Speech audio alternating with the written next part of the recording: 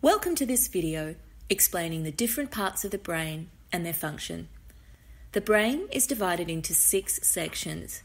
Where in the brain the seizure occurs will depend on the types of symptoms. The parietal lobe processes sensory information within seconds and is where information such as taste, temperature, and touch are integrated or processed.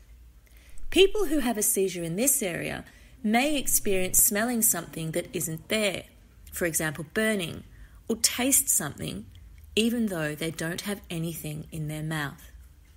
The frontal lobe controls important cognitive skills concentration, memory retrieval, emotional responses, impulse control, and voluntary movements, such as spasms. The occipital lobe is important for being able to correctly understand what the eyes are seeing. It makes sense of visual information so that we are able to understand it. Seizures in this area may affect a person's vision.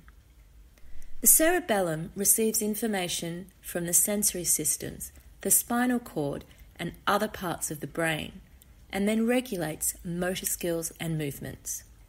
The temporal lobe organizes sensory input, auditory perception, language and speech production, as well as memory association and formation.